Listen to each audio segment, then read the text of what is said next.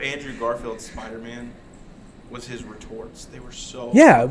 Well, The- so the guy with the small knife, hands down, one of the greatest scenes. oh my god! It's my is that a knife? Is that a real knives. knife? It's my weakness. Is small and, knives. hon- and honestly, when he did the like head turn, when uh, he like puts them all up, and he's going to see, you know, check his wrist to see if it's the guy who killed Uncle Ben. So literally, turned his head like that, he looked menacing. well, and this is this is why Andrew Garfield is such an amazing actor. And then there's another scene on the bridge after he brings the boy up out of the, barely saves the boy's life and then gives him back to his dad.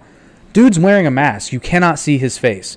Yet Andrew Garfield was so good at conveying emotion behind a mask. And it's one of those moments where you get you get the fact like just in his body language, it's relief, exhaustion, like it's all there and you can't even see his face. Bravo. Yeah, they did it. He did an excellent job. Like I still and I still one of my favorite scenes from the Amazing Spider-Man. The first one is the Uncle Ben death scene. Not because Uncle Ben dies, but just because of the way it's done.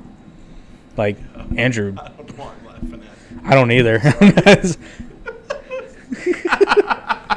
no, dude. I think it was the Peter. Peter. I felt so bad when I laughed at that because I don't think he said anything.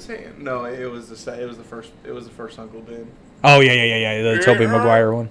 And I mean, they, uh, they they all do things really, really well.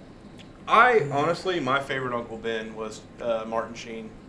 Yeah, I think he did. Accept, those are my bowling trophies. Oh, dude, yeah, no, his his comedy was funny. well, it is Martin Sheen.